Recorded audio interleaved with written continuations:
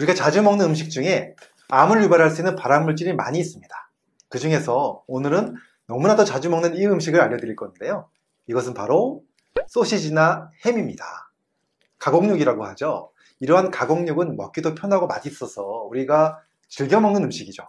그런데 이런 음식을 우리가 안 먹을 수는 없기 때문에 얼마나 어떻게 먹어야 건강하게 먹을 수 있는지 오늘 말씀드리겠습니다. 오늘 영상 끝까지 봐주시고요. 도움이 되셨다면 좋아요, 구독, 알림 설정까지 해주시면 정말 감사하겠습니다.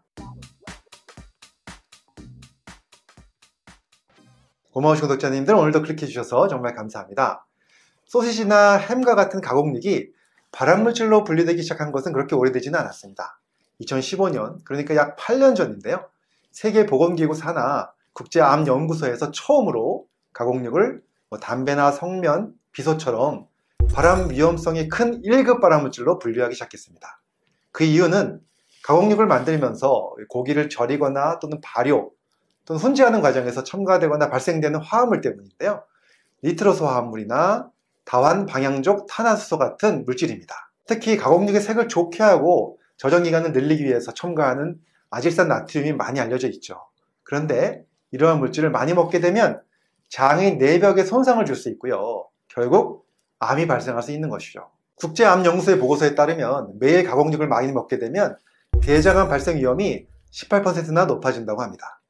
또 그와 함께 전립선암과 췌장암 발생도 증가시킨다고 하는데요. 이러한 결과들 때문에 결국 가공육을 1급 발암물질로 선정하게 된 것이죠. 자, 그런데 이 가공육을 안 먹고 살 수도 없죠. 그렇다면 얼마나 어떻게 먹어야 비교적 안전하게 먹을 수 있을까요?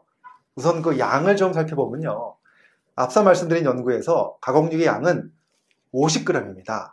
즉 매일 50g 이상 가공육을 먹었을 때 대장암 발생 위험이 증가한 것이죠. 그래서 기준을 하루 50g보다는 적게 먹는 것으로 잡는 것이 좋습니다. 그런데 사실 50g이 많은 양이 아닙니다. 프랑크 소세지 하나가 크기에 따라서 50g이 훌쩍 넘어가는 것도 많이 있습니다. 또 스팸 같은 햄도 몇 조각 먹다 보면 바로 50g이 넘어갈 수 있죠.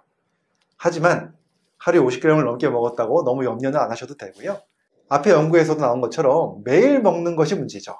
그래서 어떤 날 50g 이상 많이 먹게 된다면 그 다음날은 먹지 않으면 됩니다.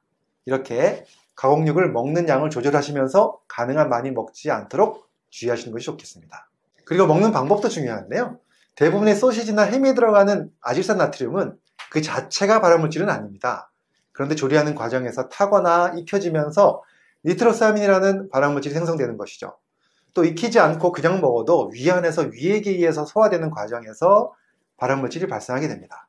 그리고 이 아질산 나트륨은 가공육에만 들어있는 것이 아닙니다. 소금을 뿌려서 말린 건어물에도 들어있고요. 또 젓갈류에도 들어있죠. 그래서 아질산 나트륨의 잔류 농도를 규제하고 있기도 한데요. 아무튼 이러한 아질산 나트륨이 발암물질로 생성되는 것을 막는 것이 중요하겠죠. 그래서 이 발암물질이 생성되는 것을 줄여주는 좋은 방법 세 가지 알려드릴 건데요. 자, 그 첫 번째는 조리 방법을 바꾸는 것입니다. 소시지나 햄을 보통 구워서 많이 드실 텐데요.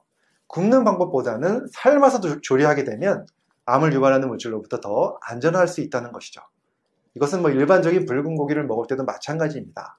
고기를 구워 먹는 것보다 삶아서 먹는 것이 발암물질을 줄일 수 있다는 것은 많은 분들이 알고 계시죠.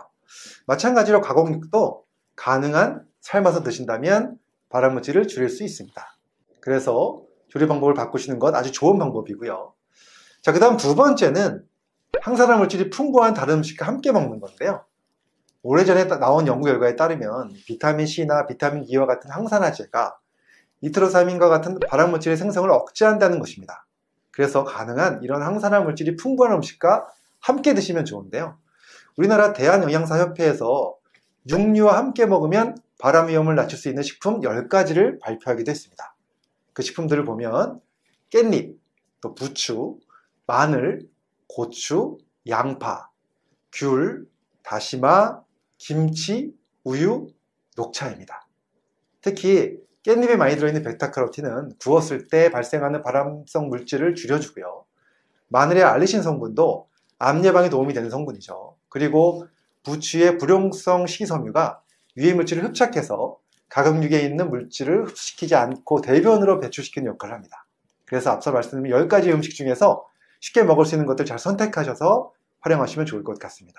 그 다음 세 번째 방법은 무엇일까요? 그것은 식사 중에 이것을 함께 먹는 것인데요. 이것은 바로 비타민C입니다. 제가 비타민C에 대한 영상을 많이 올려드렸습니다. 어, 최종 화면에 링크 확인하시면 좋을 것 같고요. 먹는 방법을 설명드리면서 식사 중에 또는 식사하고 바로 드시면 좋다고 여러 번 말씀드린 적이 있습니다.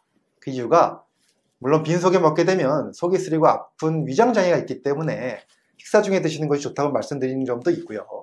또 하나가 바로 이러한 육류가 위에서 소화되면서 생기는 발암물질을 최소화시키기 위한 것도 있습니다. 그래서 육류를 먹는 도중에 또는 먹고 나서 바로 비타민C를 함께 먹게 되면 발암물질을 최소화시킬 수 있다는 점도 잘 기억해 두시면 좋겠습니다. 자, 오늘은 우리가 마트에서 쉽게 사서 먹을 수 있는 가공육, 하지만 1급 발암물질로 지정이 되어서 걱정이 많으실 텐데요.